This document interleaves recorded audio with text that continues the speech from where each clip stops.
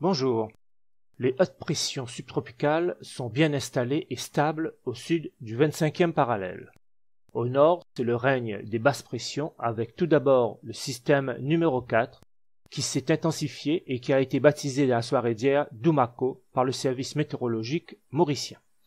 Classé tempête tropicale modérée et localisé ce matin à l'est de Tromelin, ce système qui continue à s'intensifier devrait poursuivre sa trajectoire en direction générale de l'ouest et finir sur la côte malgache au niveau de la baie d'Antongil. Les habitants de la grande île concernés par ce système doivent suivre avec la plus grande attention son évolution. Vaste zone dépressionnaire sur l'est de la zone avec deux minima, dont l'un provient du secteur australien et qui est rentré sur zone dans la soirée d'hier. Ce bulletin est maintenant terminé. Bonne journée et bonne semaine à toutes et à tous.